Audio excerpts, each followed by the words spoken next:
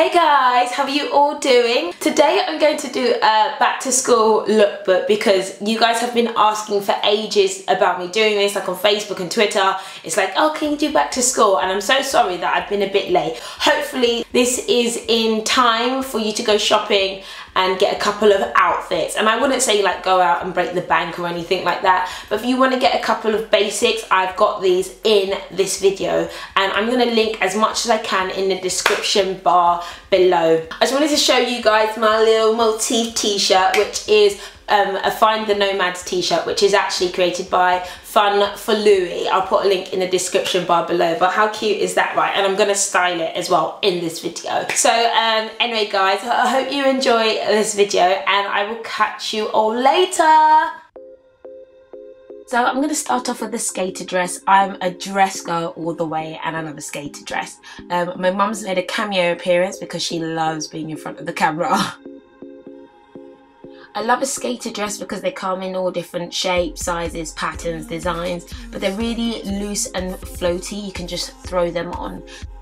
I would just wear like a little jacket over it or layer with a little denim shirt or something. I love this little skater dress here because of the neckline. It's so cool.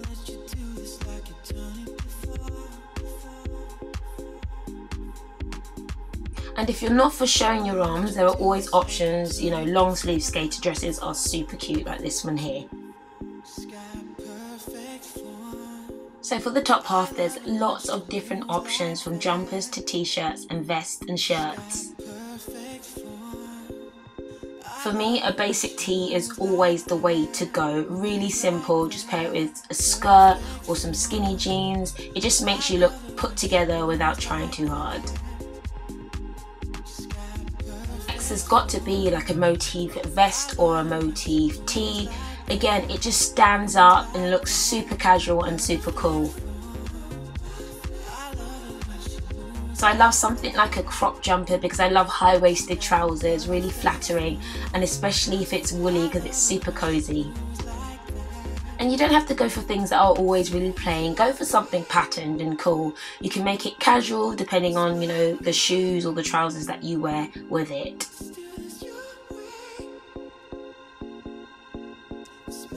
moving on to the bottom half, you might be a jeans person or a legging person or a short person, but there's lots of options. If you know me, you know that I'm obsessed with leather leggings. I just love them because they're super casual, but with a pair of heels, they look fierce. Say a pair of riding pants are a must. They're super comfortable, stretchy, and actually really flattering on most figures. And I say if you're a skirt girl, you probably want to keep it loose, fun and flirty. No one really has time for bodycon at school. Some people do like shorts at school. I wasn't one of those, but I remember at uni girls would wear shorts even in the snow. But these are a really cool pair because they kind of cover things up as well for outerwear, there's really two things that I always stick to. Number one is a blazer. It makes anything look super smart, especially if you're wearing jeans and a tee.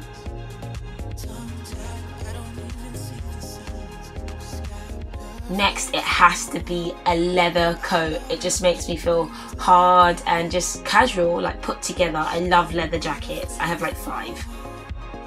And if it's hot where you are, just stick to a denim shirt as outerwear. So for accessories, I just wanted to talk about shoes and bags. I keep it super simple. So I actually like heeled trainers at the moment. If you must wear heels, make them comfy.